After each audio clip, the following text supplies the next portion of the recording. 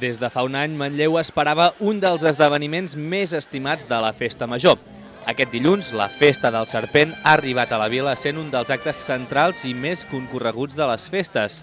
Durant tota la jornada hi va haver diverses activitats per a tots els públics per anar fent boca.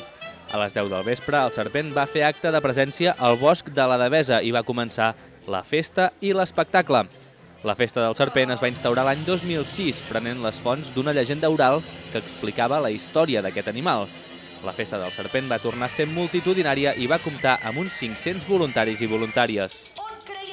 Amb la caiguda del sol, el serpent va aparèixer a la Devesa després que els bailets del poble robessin el seu diamant. A partir d'aquí, una persecució va portar la bèstia a travessar diferents carrers del nucli urbà fins a arribar a la plaça Fra Bernadí, passant per Dalvila i altres carrers de la ciutat. Segons la llegenda, el serpent portava de corcoll els vilatans perquè es menjava el seu bestiar. Al seu pas per la vila, perseguint el bailet, doncs el serpent va tornar a terroritzar els diferents vilatans, des de l'Algutzil fins als botiguers i els taberners, els representants eclesiàstics i a la població en general. El passacarrers ple de foc i llum va acabar, com és tradicional, a la plaça Fra Bernadí, on els bailets van amagar el diamant en un morter posat de cap per avall. Com diu la llegenda i com passa la representació, el serpent es va enrotllar i va estrènyer el morter fins a l'extenuació. És així com els bailets de Manlleu van aconseguir derrotar a una fera ferotge que temoria la vila de Manlleu.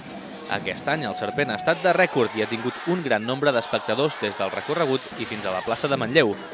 La Festa Major de Manlleu posarà el seu punt i final aquest dimecres amb el concert i ball de Festa Major amb l'Orquestra Salvatana a la plaça Fra Bernadí.